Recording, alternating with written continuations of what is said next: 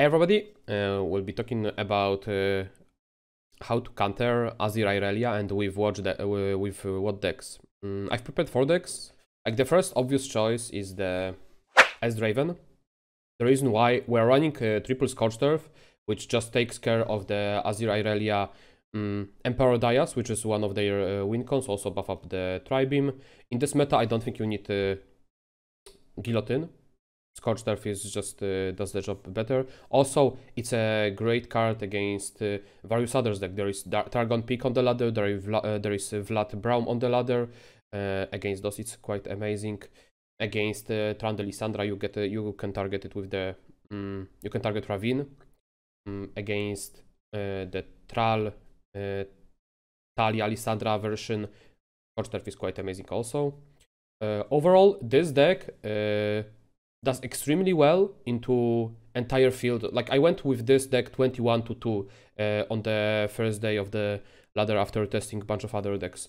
So can can recommend this as a, one of the best decks to climb to masters right now.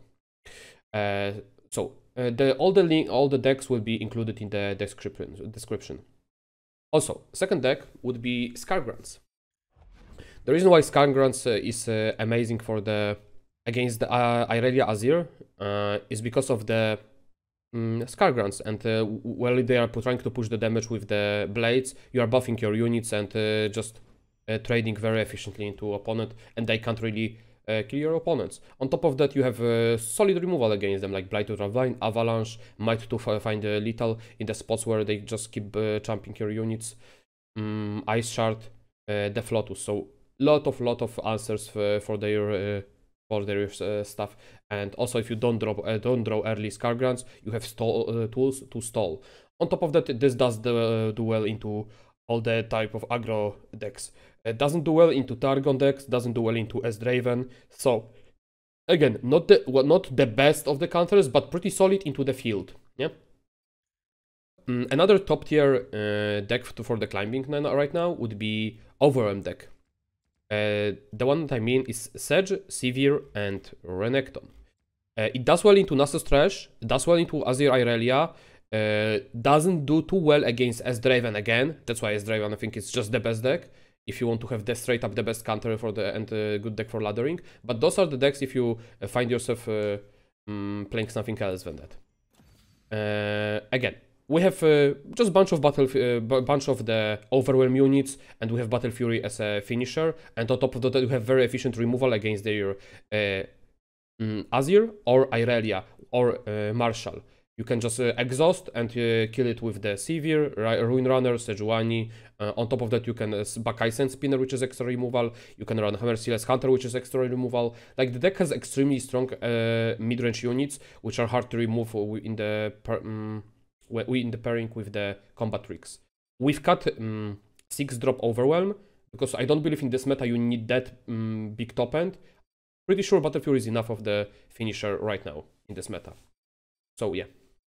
Uh, and one more deck that was uh, um, kinda new, and uh, after playtesting it, it feels extremely well. You can play Zilean Nasus. Uh, this is the iteration of Thresh Nasus, but plays at different pace. It's sort of a control deck, which just uh, uh, stalls, basically. The downside of this deck is, go hard makes your Nasus harder to find. Sometimes you're not gonna be finding Nasus when you actually need it, because Go Hard and Zilean shuffle the cards that prevent you from drawing uh, Nasus in, uh, to the hand, yeah? So Mm, but the reason why this deck is so good, because it deals extremely well with the all the aggro decks. We have Free Whales, we have Go Hards, we have Vile Feasts, we have Black Spears. All of that removal makes uh, mm, the, all the 1 HP like elusives extremely weak.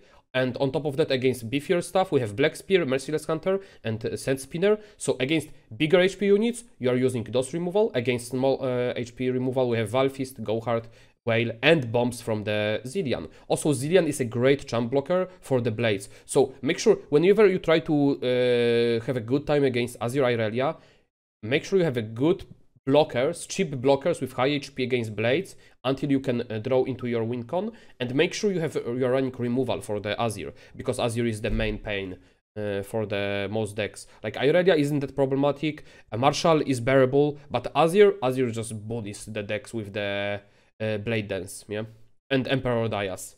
But Azir obviously stronger because it buffs up their damage, so it's harder to trade into the Sand Soldiers and Blades. Yeah. Uh, also, you can play the Thresh uh, Nasus version of this deck, but I believe it's slightly worse. This is better, but uh, and this deck the, does quite decently into S-Draven, so uh, it does well into Thresh Nasus. Again, it can be a bit inconsistent because how late you can draw Nasus if you don't find the... Um, if you find early Zilean Gohards and you play them, you just make your yeah Nasus come down later. If you're gonna be uh, not facing that much uh, that many Azir Irelia, but occasionally you can cut the Gohards and play more Vengeance to uh, to deal with the Nasus with this deck.